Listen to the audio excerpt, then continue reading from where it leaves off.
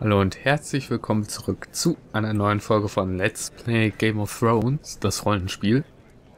Wir stehen im, im Versammlungs, in der Versammlungshalle der äh, Nachtwache und sollen einen gewissen Sir Godric aufsuchen, den wir hier haben, Godric Dornhall. Ich weiß nicht, ob man den irgendwoher schon kennen kann. Aus der Serie glaube ich nicht, vielleicht aus den Büchern, ich weiß es nicht, oder ob der reine Erfindung des Spiels ist. Wir reden auf jeden Fall mal mit ihm. Ihr müsst John Arins Männer sein. Der Lordkommandant sprach mit mir über euch. Für wahr, ich bin Ritter Godric Dornhall und das ist Jared, mein Leutnant. Und ihr müsst Sir Mors Westport sein. So ist es. John Arin sprach von euch als einem der wahrhaftigen Helden der Schlacht am Hirschberg. Es ist mir eine Ehre, eure Bekanntschaft zu machen. Während Robert Baratheons Rebellion kannte ich einen Mann namens Morse Westford. Ein wahrer Hurensohn, den ich für den Tod meines Bruders persönlich verantwortlich mache. Ich hätte nicht erwartet, ihn an der Mauer anzutreffen. Halte deine Zunge im Zaum, Jared. Wir befinden uns hier im Territorium der Nachtwache. Vergesst eure Streitigkeiten aus der Vergangenheit. Wir haben eine Mission zu erfüllen. Bitte verzeiht diese Unterbrechung, Sir Westford. Wenn ihr den Brief gelesen habt, wisst ihr sicherlich bereits, warum wir hier sind. Wie geht es eigentlich John Arryn? In der Tat. Ich hatte gehört, dass John Arryn kürzlich erkrankt sei. Wie geht es ihm? Wir haben Königsmund schon vor geraumer Zeit verlassen, um in den Norden zur Mauer zu kommen. Wir haben seither keine Neuigkeiten erhalten. Doch wie wir den Lord über Hohenehr kennen, ist es nur eine Lappalie. Er hat eine eiserne Gesundheit. Jeder weiß das. Ich hoffe nur, dass das Alter ihm nicht allzu sehr zusetzt. Nun gut. Ich denke, ich weiß, wo sich die Frau aufhält, von der John Arryn in seinem Brief spricht. Perfekt. Ich wusste, dass ich mich auf euch verlassen kann. Lord Arryn schenkt sein Vertrauen nur Männern, die es auch wert sind. Dann sagt mir bitte, Sir, wo ist sie? Sie ist in Mullwarft. Die Informationen in dem Brief lassen vermuten, dass sich die Frau in Mulwarft versteckt. In Mulwarft? Das Dorf, durch das wir auf dem Königsweg gekommen sind? Ja, um sich vor der andauernden Kälte zu schützen, haben die Bewohner einen unterirdischen Tunnel gebaut. Ich werde uns dorthin führen. Wir werden sie zweifelsohne dort finden. In dieser Gegend gibt es nicht viele Fremde. Wir werden die Dorfbewohner nach ihr fragen. Nun gut, lasst uns aufbrechen. Halt! Es ist gerade ein Rabe mit einer Nachricht aus Königsmund eingetroffen. Dunkle Schwingen. Dunkle Worte. Was ist los? Gehen wir nach draußen, Morse. Ich möchte diese Angelegenheit nicht in der Versammlungshalle besprechen. Was ist los, Gio? Tja, also, John Arryn, die Hand des Königs ist tot.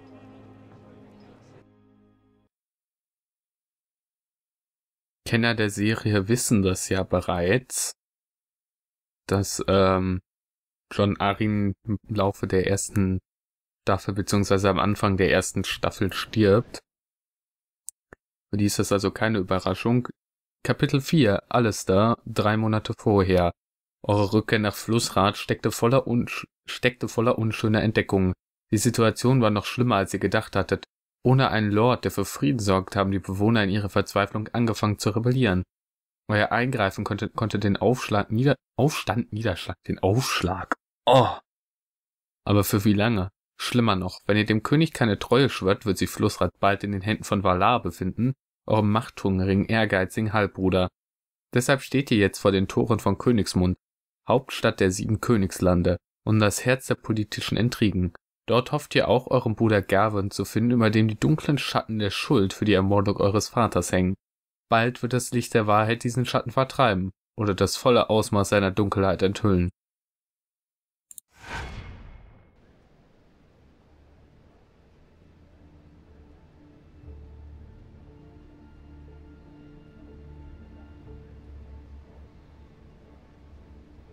Der Wille des Löwen. Geht zu dem Haus des Sarwix in Königsmund, um mehr über das Schicksal eures Bruders Gavin zu erfahren.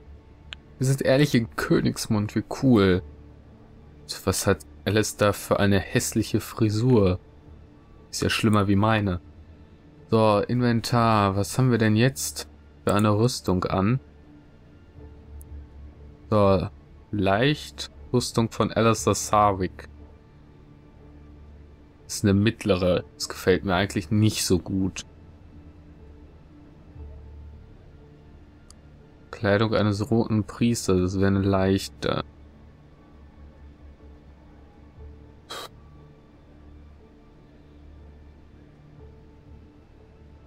Ich lasse mal an. Passt doch irgendwie nicht zu Alistair. Die sind viel, viel zu fett für den, aber naja. So, wen haben wir denn hier alles? Das meine ich doch mal. So eine Stadt, die man aus der Serie kennt, das ist doch cool. Und ich verlaufe mich, glaube ich, wieder. Hallo, der alte Ren. Guten Tag, Milord. Seid ihr zufällig Lord Sarwick? Habt ihr etwas für den alten Ren? Nur eine Münze für einen verwundeten Veteranen. Ich erinnere mich nicht an dich, alter Mann. Woher kennst du meinen Namen? Ich habe damals in Flussrad gearbeitet, Milord. Bei allem nötigen Respekt, ihr habt ein paar Falten bekommen, euch aber sonst nicht viel verändert. Hm, fragen wir erstmal, was er so über Königsmund zu erzählen hat. Es ist Jahre her, seit ich einen Fuß in die Hauptstadt gesetzt habe. Gibt es Neuigkeiten? Ein Lord wie ihr muss sich für den Roten Bergfried interessieren. Er ist da oben auf Aegons hohem Hügel. Dort werdet ihr König Robert und seine Königin Cersei Lannister, ihren gesamten Hofstadt und ihre Ritter finden. Und dort passieren die wichtigen Dinge. Der Rest der Stadt ist für das gemeine Volk. Das sind Handwerker, die Besten im Reich. Und Huren, auch die Besten. ihr könnt fast alles, was ihr wollt, in Königsmund finden. Hm. Wenn er mich kennt, hat er vielleicht Garvin gesehen. Du sagst, du kennst die Leute meines Hauses. Kennst du auch meinen Bruder? Ich bin hergekommen, um ihn zu sehen. Äh, nein, Milord. Ich habe ihn nie persönlich kennengelernt. Aber ich kenne seine Leute. Äh, besonders Hubert, den Stallburschen. Er kommt in die Tavernen, um ein paar Bier zu trinken. Und dann erzählt er. Er hat gesagt, dass Lord Garvin vor längerer Zeit nach Flussrad zurückgekehrt ist, um seinen Vater zu besuchen. Und jetzt ist Lord Sarwick tot. Es gibt Gerüchte, dass euer Bruder nun wieder in der Stadt ist. Man kann sich aber nicht sicher sein, denn Hubert hat sich schon eine Weile nicht mehr blicken lassen.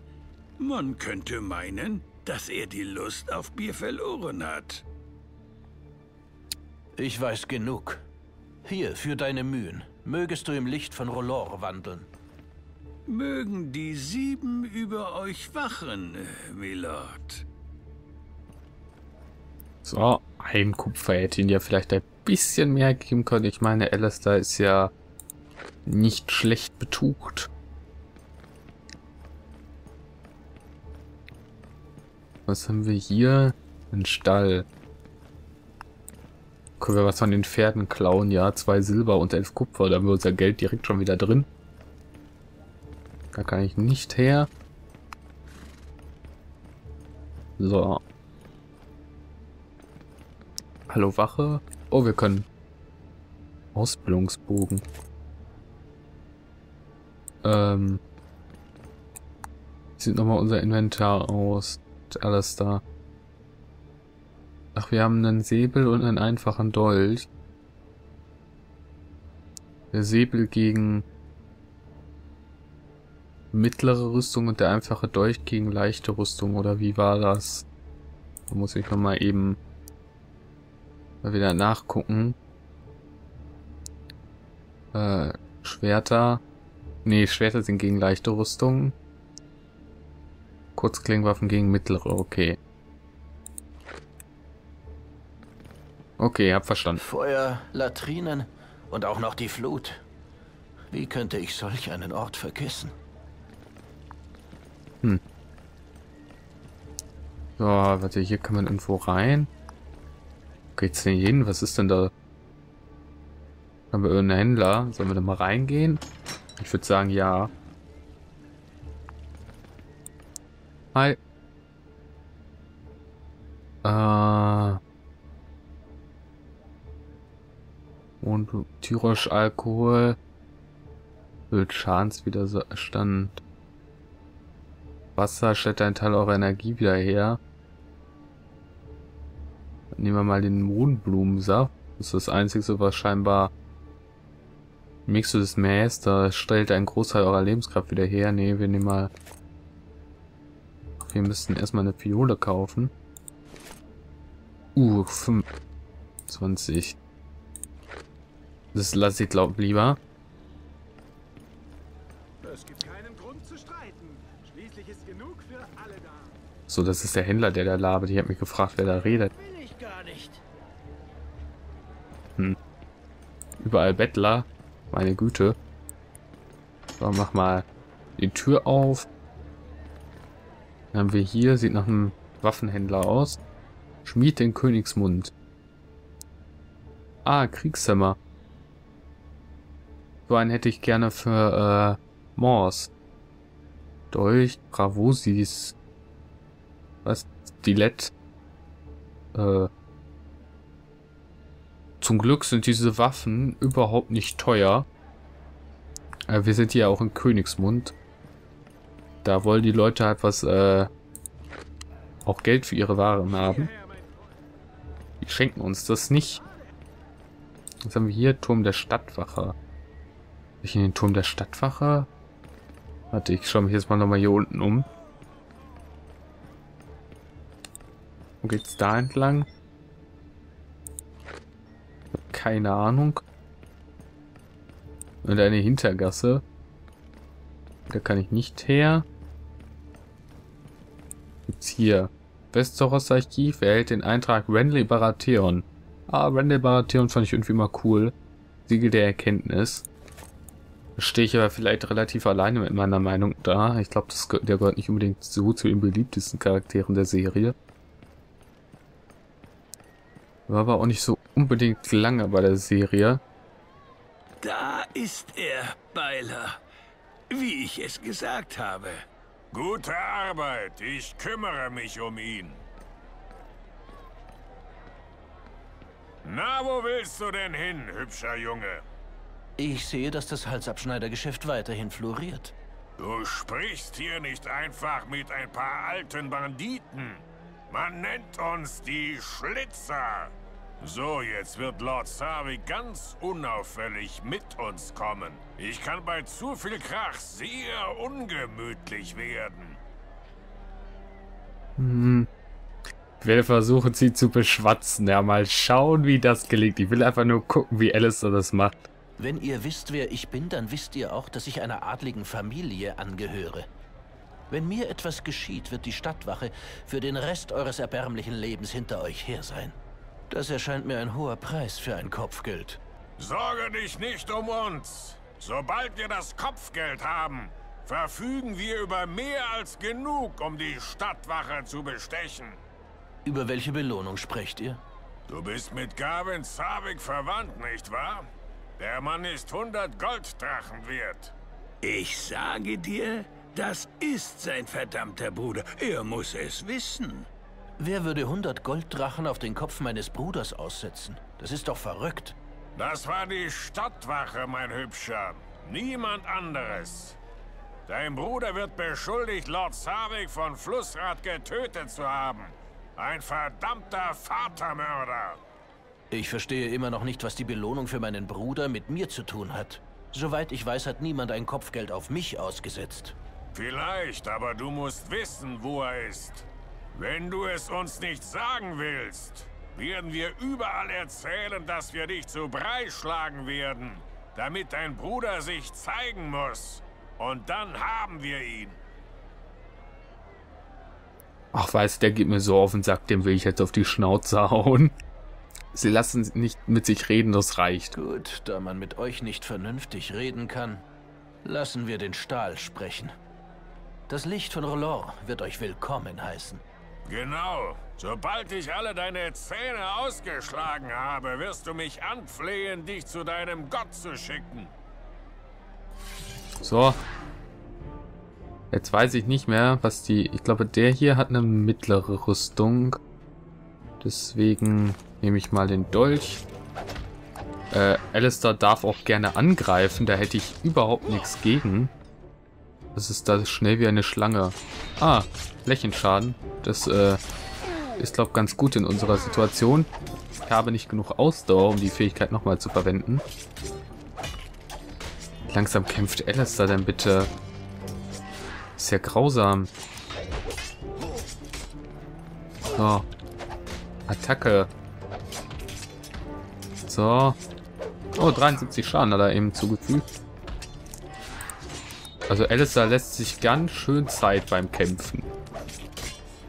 Morsch schlägt deutlich schneller zu. Oh, bin tot. Ah, ah.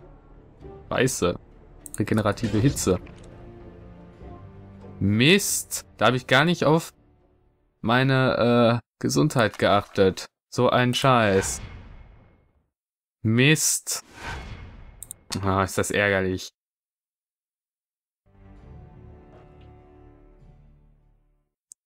Ah, ja, drei Monate vorher. Bla bla bla. Aber beim nächsten Mal versuche ich erst die Kleinen auszuschalten. Wenn mich dann den Groß zu... Ja toll, jetzt bin ich wieder hier. Super. Äh, bin doch dumm. Dumm wie Toastbrot. Na, super. So, warte, wo war... Da hatten wir was. Dann mal eben im Schnelldurchlauf das Ganze nochmal. So, der... Der Scheißer. Bla bla bla. in Flussrad gearbeitet, Milord. Äh, hinter. Bei allem. Ihr könnt fast alles, was ihr Da, da, da. wollt, äh, in Königs... Man kann sich aber nichts mögen. So, weg mit dem. Feuer, Latrinen und auch noch die Flut. Wie könnte ich solch einen Ort vergessen? Keine Ahnung, aber ich habe meine Lektion gelernt. Nein, habe ich nicht. Ich, ich hole mir nichts zum Heilen. Das, das kostet viel zu viel. Ich muss nur mal im Kampf meine Lebensenergie ein bisschen genauer im Auge behalten. Da gehe ich immer sehr leichtfertig mit um. So, haben wir halt hier wieder die Sachen mitnehmen. Nimm mal alles mit. Neuer Eintrag Renley Baratheon. Ist übrigens der kleine Bruder von Robert Baratheon. Ich glaube, da bin ich vorhin abgeschnitten worden, bevor ich das sagen konnte. Ich speichere jetzt auch mal. Müsste wissen, ob es eine Schnellspeichertaste gibt. Müsste ich nochmal nachgucken. Ja, ich schalte jetzt, in diesem Moment werde ich meinen PC ausschalten. Das wäre... So, Da ist er. Bla bla bla. So, jetzt wird Lord Sarvi ganz unauffällig mit uns kommen. So, und dann zu schlagen wir sie Krach direkt auf die Schnauze. Ihr habt euch das falsche Opfer ausgesucht. Für solche Spielchen habe ich keine Zeit. Geht weiter. Ach ja? Ihr denkt, ihr seid so gut für uns, Hoheit. Das Problem, mein Hübscher, ist, dass du derjenige bist, nach dem die Leute suchen. Du wirst uns dabei helfen, die Belohnung einzustreichen. Welche Belohnung? Was meinst du damit? Es gibt einen Mann, 100 Golddrachen wert, der verschwunden ist. Ein Mann namens Gavin Savik. Man könnte meinen, dass er zu deiner Familie gehört. Merkst du, worauf ich hinaus will? Wer würde 100 Golddrachen... Das war die Stadt. Ich verstehe immer noch... Vielleicht. Wenn du es uns nicht Das sagen kennen wir ja schon. Werden wir überall So. erzählen. Genau. So. Ich möchte gerne einen hiervon angreifen. So, Attacke. Ah, die fallen nämlich wie die Fliegen. So. Dann können wir uns gleich besser auf den anderen. So. Bei dem wechseln wir mal die Waffe auf unseren Dolch. So, äh, Angriff. Angriff wäre vielleicht mal ganz gut. Äh, leicht wie eine Feder. So, dafür, dass er bewegungsunfähig ist, bewegt er sich aber noch ganz gut. So, was haben wir hier eigentlich? Flammenwaffe. Können wir ja mal machen. Dann richten wir ein bisschen mehr Schaden mit Alistair an. Dann setze ich mal die regenerative Hitze ein, weil wir fangen an Leben zu verlieren. Und wild wie ein Wolf. Dann klappt das doch hier auch ganz gut. So. Tot ist er. Falle in den Stau. Halt, was geht hier vor sich? Legt sofort eure Waffen nieder. Im Namen des Königs. Verdammt, Goldröcke! Euch sehen wir wieder, kleiner Lord. Die Schlitzer vergessen nie einen Feind. Könnt ihr mir all dies erklären, Milord? Äh, sagen wir das mal. Diese Diebe haben mich angegriffen. Ich habe mich nur verteidigt. Ich habe euch nie zuvor in der Stadt gesehen, Sir. Könnt ihr mir euren Namen verraten? Mein Name ist Alistair Sarwick. Jetzt verstehe ich, warum ihr angegriffen wurdet. Ihr seid der Bruder des Mannes, den man beschuldigt, seinen Vater getötet zu haben.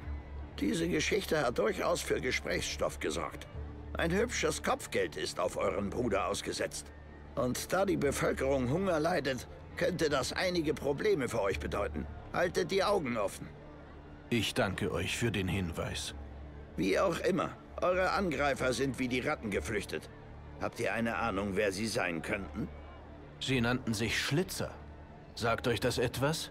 Vielleicht. Ein paar nutzlose Rohlinge und Diebe, die durch die Kanalisation der Stadt kriechten. Harmlose Strolche, größtenteils. Ihr Anführer muss ziemlich gerissen sein, nach all den Jahren immer noch im Geschäft zu sein. Aber früher oder später erwischen wir sie. Das könnt ihr mir glauben. So. Steinhammer. Zu das tut mir sehr leid für dich. Kann ich nur im Moment auch nichts dran ändern. So, warte. Map, ich gehe nicht in die Richtung, die ich gehen wollte. Es ist aber egal. Wo war denn nochmal?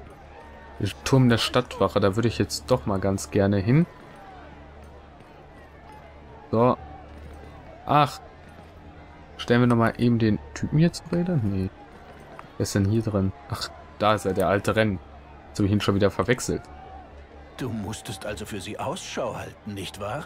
Da sie jetzt weg sind, bist du ganz allein. Und du wirst die Folgen deiner Handlungen zu tragen haben. Bitte, oh bitte, Milord. Ich hatte keine andere Wahl. Genug. Deine Lügen nützen dir nichts. Gnade. Glaubt mir, dass ich beschämt bin, Milord. Ihr wart so gut zu mir. Habt Erbarmen mit einem alten Mann. Mit meinen gebrechlichen Händen kann ich nicht mehr arbeiten. Wenn sich die Gelegenheit für einen kleinen Verdienst ergibt, wie könnte ich da Nein sagen? Also wenn ich eins nicht habe, dann ist es Mitleid mit Verrätern. Deswegen tschüss. Feuer läutert, alter Mann. Es hört nicht auf, nur weil jemand darum bettelt. Genau wie ich.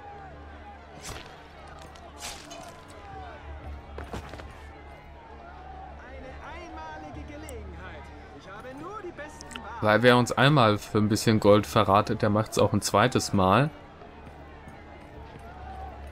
Da bin ich vielleicht etwas knallhart, aber so ist das. So. Aber Elsters Reaktion fließt da sogar ein bisschen äh, interessant.